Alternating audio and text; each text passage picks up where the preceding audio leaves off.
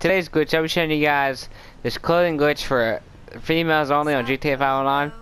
Now this is where you can wear pretty much Tron pants or a heist coverall pants without wearing the top part of it. Like you guys can see right now, I'm wearing the heist coverall. You guys can also do the Tron pants doing this too.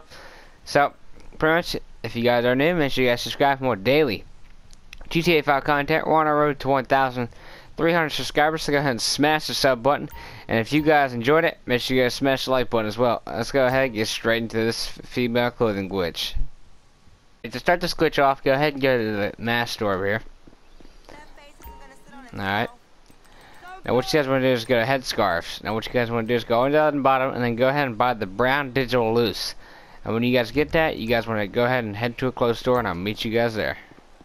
Alright, now when you guys get to the clothes store, what you guys want to do is go ahead and go up to the woman up here.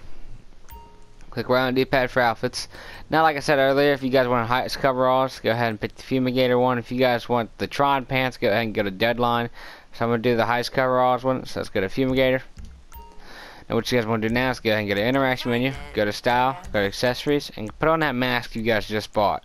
So this one right here. Now, the reason why we bought the mask so we can have this glitch here. You guys see it puts on a tank top instead of gets rid of that extra whole outfit. So pretty much, you guys got the pants on.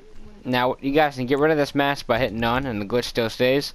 So pretty much to make the way, pretty much to make this look better, you guys want to go to style.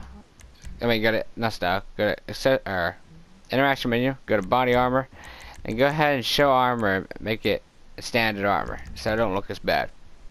Now what you guys want to do now is you guys can change the shoes on this um, Fumigator outfit, but only the boots. Now you guys see what I'm talking about. You guys change a different color, green, tan, and like three blacks. That's about it. But you guys can still change them.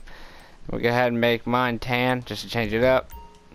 Now you guys can add a hat, mask. You guys can do the mask glitch for this, a telescope glitch, whatever.